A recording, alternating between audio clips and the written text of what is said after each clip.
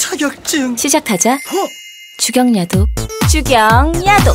기능사도 주경야도 기사도 주경야도 기능장도 주경야도 기술사도 주경야도 자격증 주경야독으로 끝내자. 이게 뭐라고?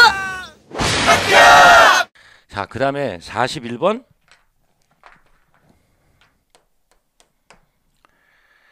자, 공기가 20도씨의 송풍간 내에 20m/s 유속으로 흐른다. 속도압은 얼마냐? 밀도를 줬으니까 뭘로 하면 돼? VP는 2지분의 감마 V 자승, 그죠? 그러면 2 곱하기 9.8. 그 다음에 밀도 감마 V는 얼마야? 20m/s 20의 자승. 지금 다 NKS는 맞췄으니까 단위를 맞췄으니까 단위 안 푸- 단위를 환산을 안 하고 그냥 해도 돼요. 교재처럼 단위를 붙여서 지워도 상관이 없고요. 그래서 24.49 mm H2 이렇게 해주시면 되겠습니다. 자, 그 다음에는 좀 지우고 예, 이어서 하는 걸로 좀 하겠습니다. 자, 이어서 47번 보겠습니다.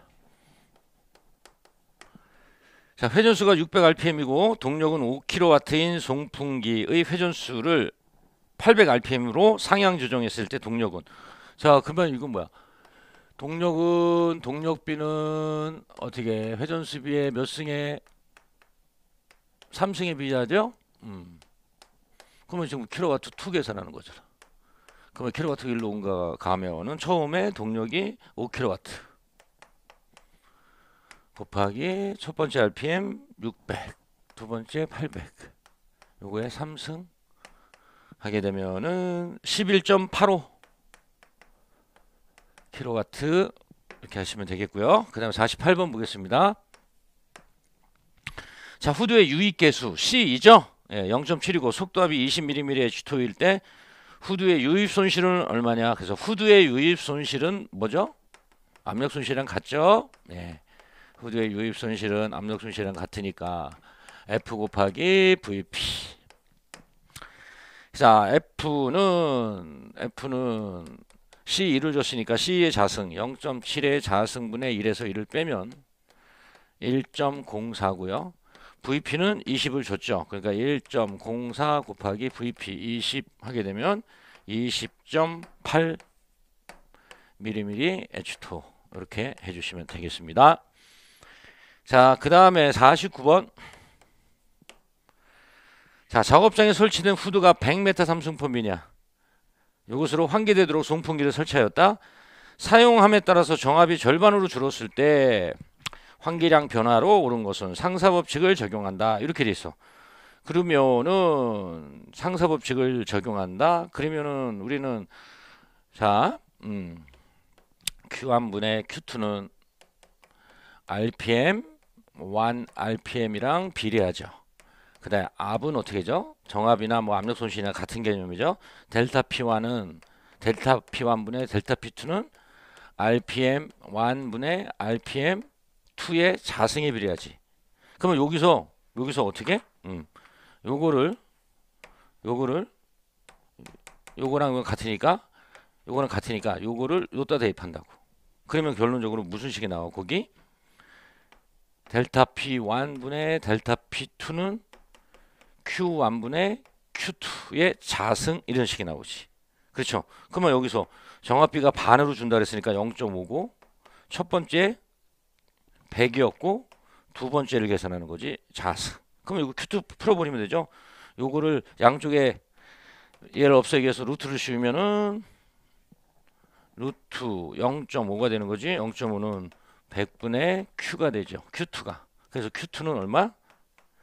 70.7 메타 삼승 포민. 자, 그래서 요거를 상상법칙에서 이렇게 만드는 거 요거만 좀 여러분 주의하시면 하실 수 있는 문제입니다. 그 다음에 51번 보겠습니다. 자, 직경이 30cm고 그럼 빨리 바꿔야지. 0.3m 그쵸? 유속은 10m/s 네놀 조수를 구하시오. 점성계수 줬습니다. 공기 밀도로 줬습니다. 그러면 네놀도 남바는 점성계 주셨으니까 1.85 곱하기 10의 마이너스 5승. 자, 단위는 신경 안 써도 돼요. 교재엔 다 풀어놨지만. 음. 네, MKS로 맞추면 되는 거죠. 그 다음에 밀도 보니까 MKS 맞으니까 그냥 오면 되겠죠. 1.2 곱하기 로 V 속도도 똑같으니까 10. 그 다음에 D. D는 30cm를 메타로 바꾸면 되는 거죠. 0.3 이렇게 하면 됩니다. 이렇게 하시면 1945 음, 194594 194594.59 그럼 가장 가까운 거 찾으면 되겠죠? 그 다음에 54번 자 작업장의 음압 수준 즉 SPL이 86dBA야 자 했는데 차음 평가 지수 NRR 값이 19야.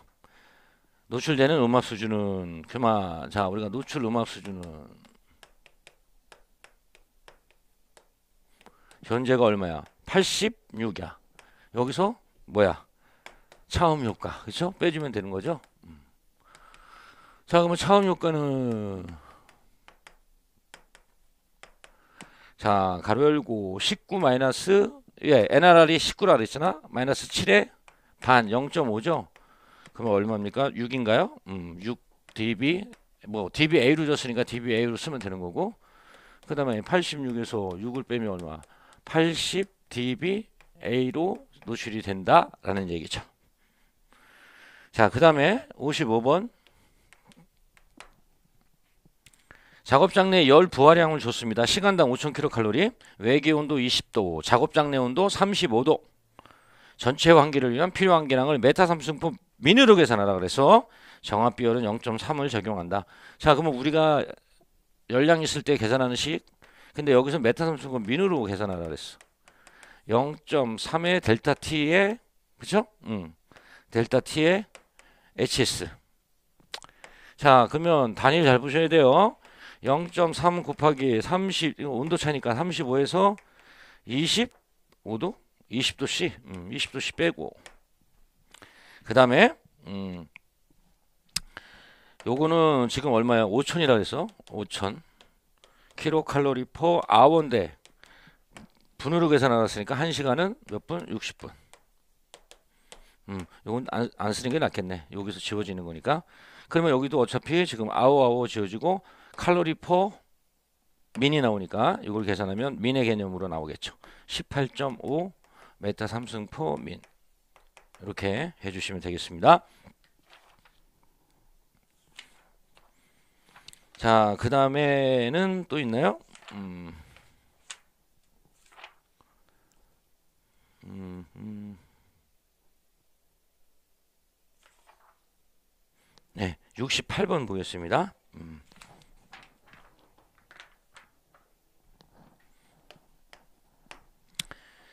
자, 90데시벨, 90데시벨, 그 다음에 95, 100.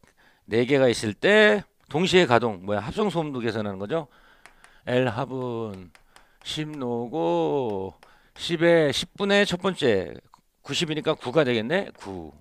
두 개, 두 번째도 9. 세 번째는 얼마? 9.5. 아, 끝난 거 아니죠. 플러스 네 번째가 100인가요? 100이니까 10이 되겠네. 10분의 100은 이렇게 해서 계산한 것이 얼마가 나왔냐면 101.8 계산기 눌러서 찾아주셔야 됩니다. 눈으로 보면 안 돼요. 자, 그 다음에는 거의 다 된 것 같은데, 음, 보겠습니다. 독성하게는 한 문제인가 있었던 것 같은데, 아, 예, 88번. 자, 이 88번 문제는 개론에서 나올 수도 있고 독성학에서 나올 수가 있는 거죠. 88번 보면 나의 독성에 대한 인체 실험 결과 안전 흡수량이 체중 킬로그램당 0.005mg이다. 이를 8시간 작업 시 허용 농도를 계산하시오. 평균 체중 주어졌고 폐환기량 주어졌습니다.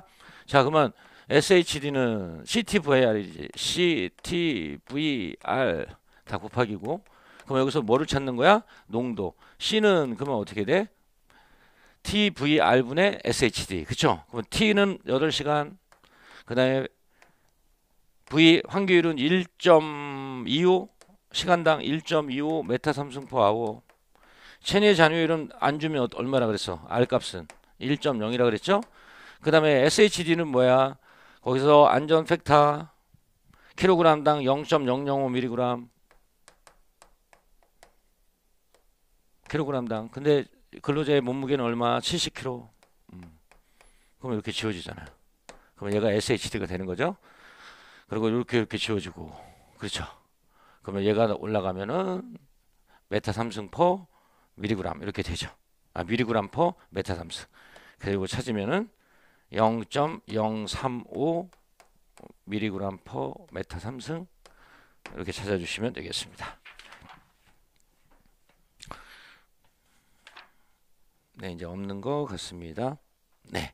자, 그래서 이번에 1회 기사 문제는 계산 문제도 그렇고 이론적인 것도 그렇고 한두 문제는 뭐 항상 신출 나오니까 어쩔 수 없고 나머지는 아주 평이한 그리고 계산 문제도 이렇게 난이도가 없는 네.